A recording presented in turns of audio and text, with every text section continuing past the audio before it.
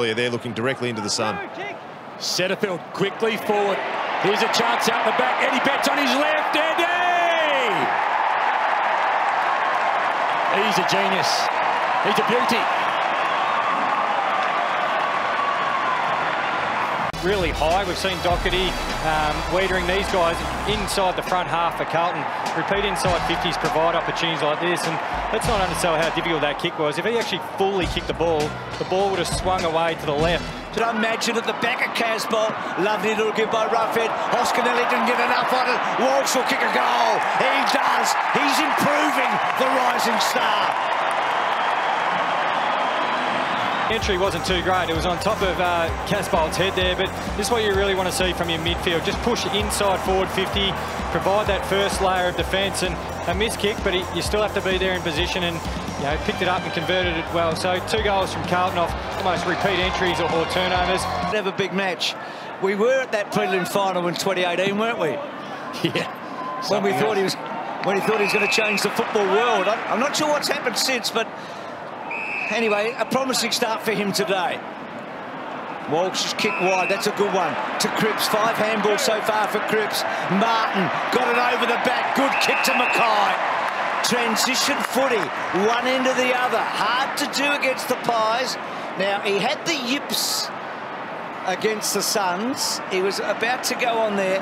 Kicked 2-4 that night.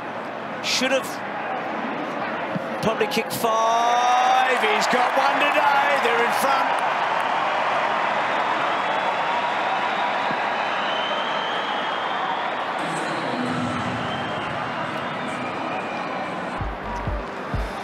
We have a look at that kick by De Koning, and, and that's what all coaches are trying to get coming off half-back. The one on the 45, some coaches call it a, a, bridge kick, but what it does is it allows your forwards to really spread hard off the back of it and gives them the full width of the ground to work in. So if he would have gone back and slow off the mark, Collingwood defenders get really well set, Darcy Moore gets set behind the ball, allows the midfielders to... First kick, wanting a grab, getting nearly a grab with De Koning. Did well to hold up against Maynard. McKay, Martin over the top. Betts lurking, fending off. Clever, Fisher wrong side. No, he doesn't have a wrong side. Goal.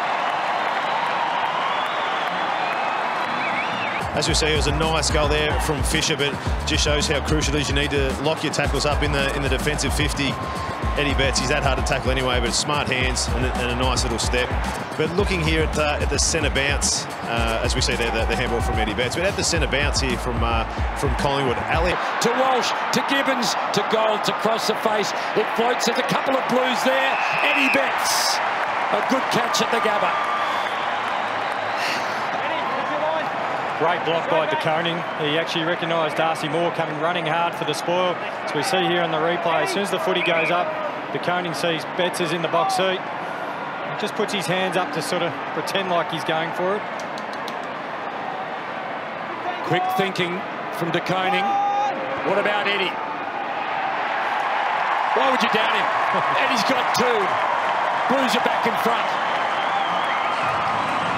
But Hamish, you mentioned he makes it look easy because he does keep it very simple. He squares himself off to the middle of the ground. He holds the ball right. There's no big elaborate movement. He's not trying to do half run in with, with a drop punt and change it at the last moment. Good kick. Curnow found some space. And Collingwood at sixes and sevens for the moment, aren't they? Ed, Ed, one metre. Go, guys. Mark's right here. So Curnow. 15. Kicks a couple in the match this year. He's uh, got a good temperament. I reckon that helps with these set shots. He's got it. The Blues are going well.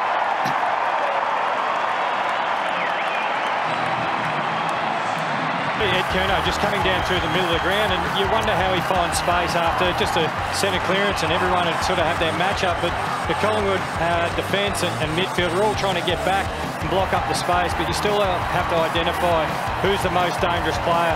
Take that one and allow then the free ones to work off the back of that. Through the legs of Pendlebury.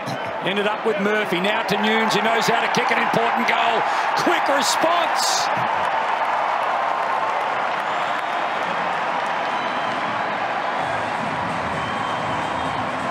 Stoppage centre bounce goal and Paddy Cripps has made the adjustment in centre bounces. Scott Pendlebury's going to take him. He takes that front spot, hold a bit of space.